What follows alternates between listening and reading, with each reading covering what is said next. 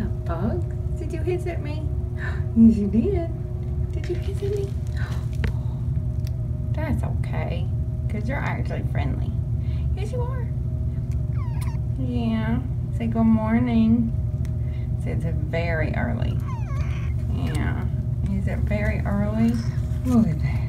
Okay. It is about 7.15 and I was exhausted last night.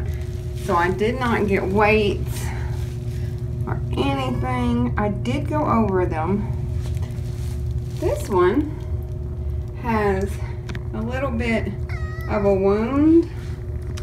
Scratches, not, not horrible. So on the nose and by the eye. Yeah. And that's really all I can find um, other than, you know, just normal kitten stuff. And this one has a wound on the back of its ear that looks like it's old, it's healing, but the, the fur is gone.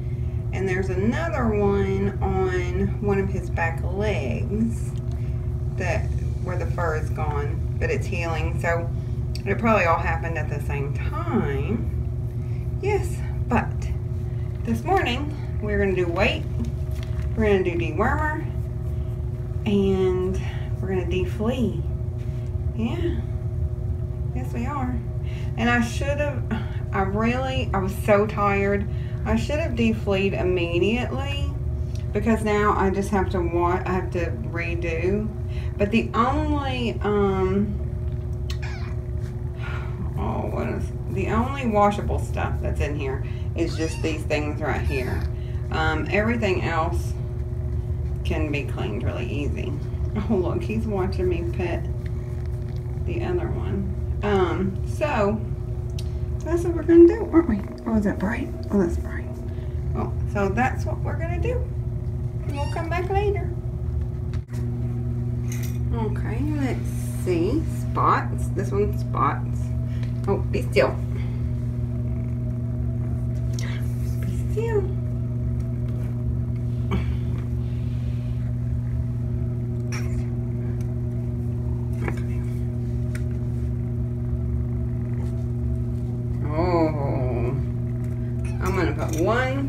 One four, so almost two pounds. Yeah, almost two pounds.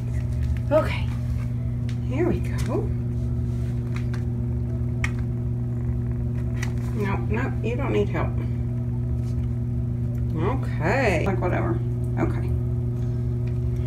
Let's, I go get their dewormer. Delivery.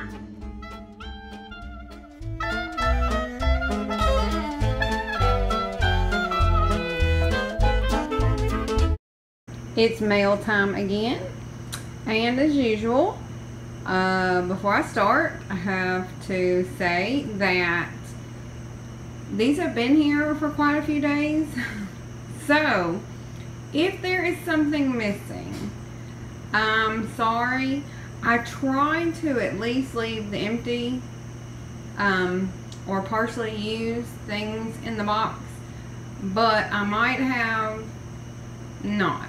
So if there's something missing, just know it's probably because I took it out and used it.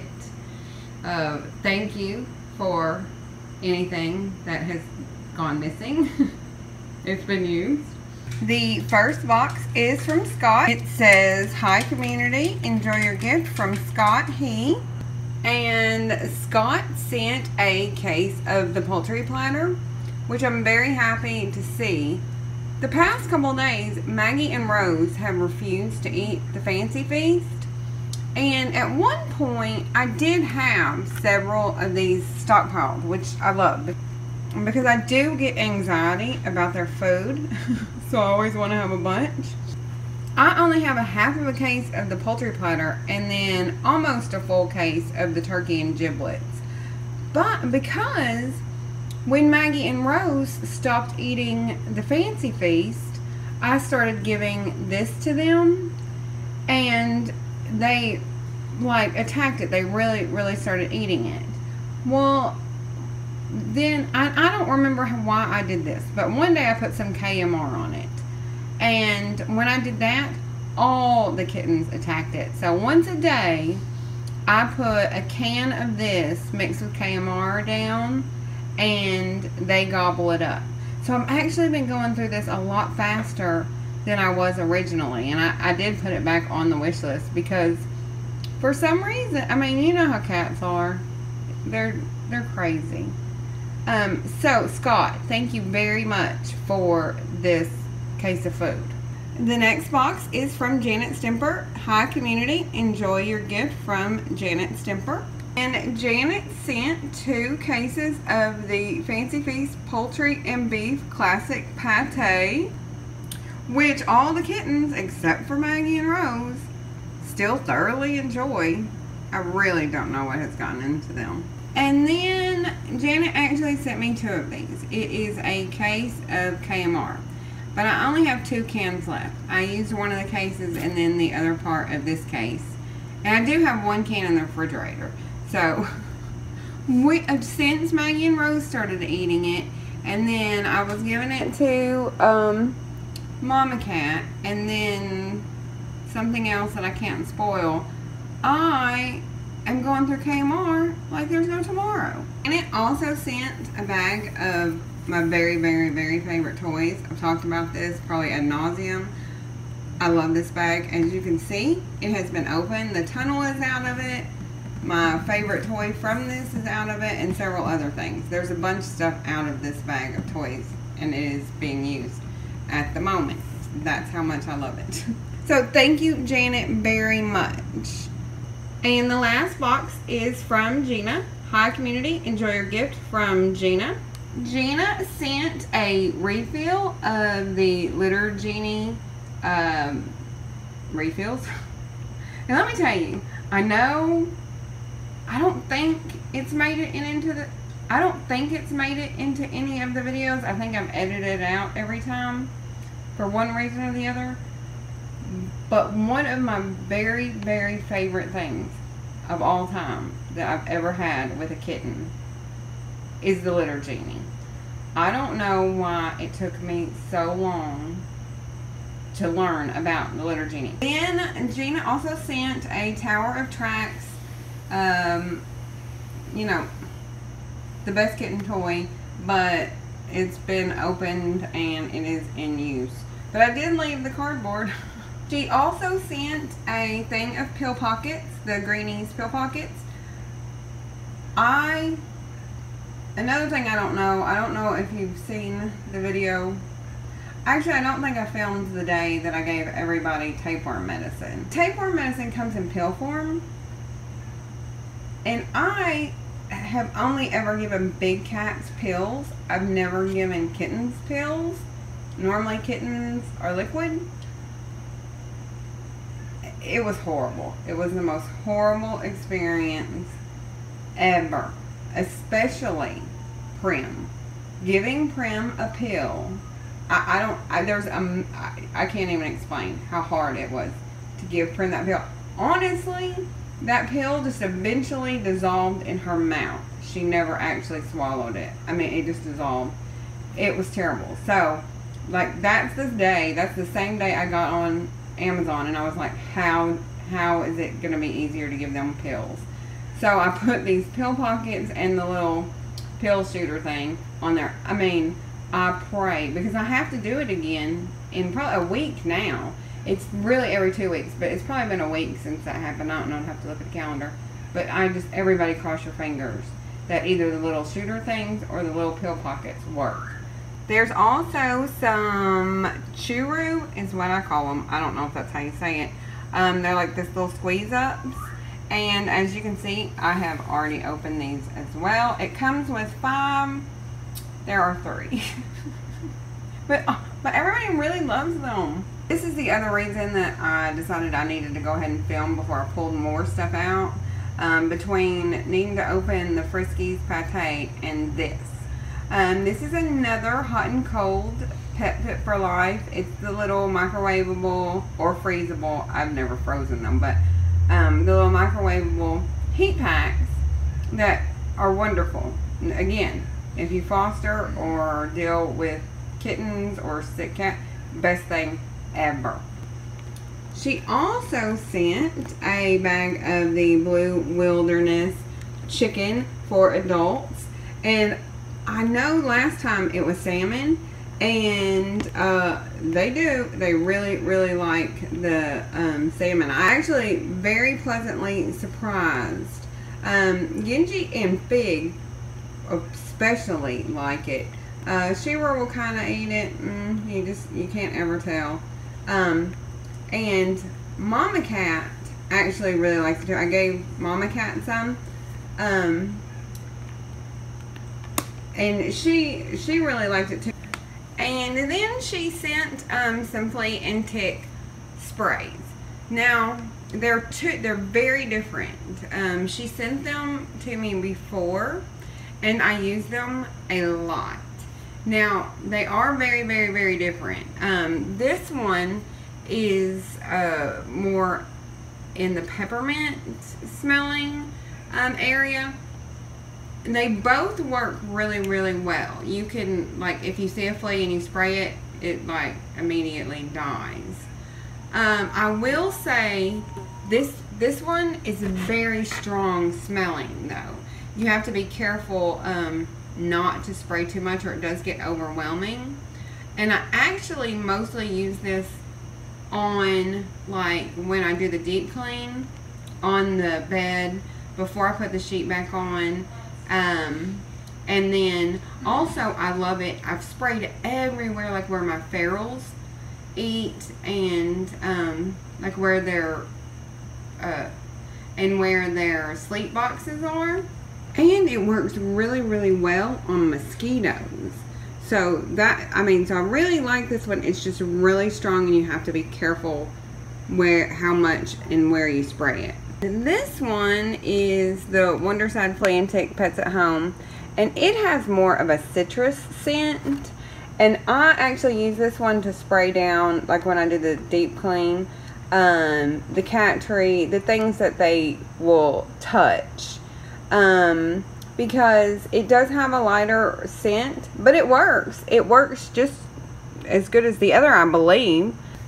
And they're supposed to both kill not only the fleas but the eggs. And you know, I have to say, since I started using them, I I actually haven't really seen any fleas. Knock on wood. I hate saying that because I don't want to jinx it. But I haven't. I haven't seen any fleas on any the big cats or the kittens um, so, you know, between the topical and these two sprays, I'm, I'm pretty sure, like I said, knock on wood, we have the flea under control. but I don't want to jinx it. Thank you very much, Gina, for the food and supplies. Well, I found something that they really, really like. I've actually had a hard time getting them to eat today. Now, you know, they did have their dewormer and the deflea. Um, and that does normally kind of mess with them a little bit. Uh, but I, even before that, they didn't eat very well. Like that is just one can of the chicken, kitten chicken fancy feast. So it's actually it looks like they ate a lot, but they didn't because the can is little and um, most of it's just been pushed to the side. They didn't really eat that much of it. And then I tried fish, that's Fancy Feast salmon, and they didn't. they wouldn't even touch that. So then I decided to try the tried and true poultry platter with KMR, and they got really excited. what are you doing? Here, come out here. Come out here in the light. Yeah. And this one is just a playful little thing. Yes. Mm-hmm. Tell everybody you came to the door hollering at me. Yes, you did. That's how I knew you were going to eat something. They finally, um, they spent most of the day in here kind of just sleeping. I had heated up the pack and put it in there after I did the dewormer. And it's about 8 o'clock at night. And I would say they spent from probably 1 in the afternoon until now. Now, as we should all know by now, when um, cats and kittens come inside from outside, they normally do sleep quite a bit when they first get in. I think it's because once they feel comfortable, they just relax. I mean, I think they're just always have to be on such high alert outside that when they come in, they just sleep. And that always happens. That always happens. So that's what they did. They slept most of the day today. But it looks like they may be awake and playful. I know this one is. This one just wants to be on my lap, which is fine, but I can't film it on my lap.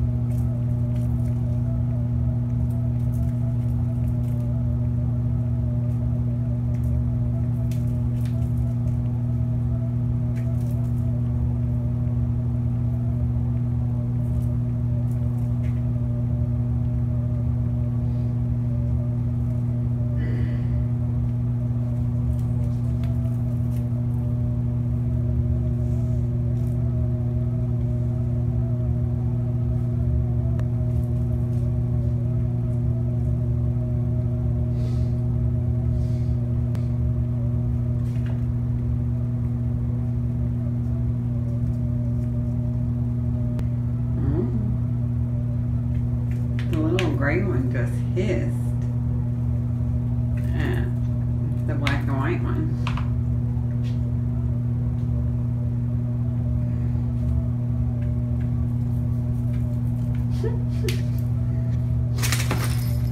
oh, oh, he scared himself. He fell over while trying to groom because he's a little roly-poly and he hit these crinkle balls still kind of freak him out a little bit. And he hit the crinkle ball and he jumped.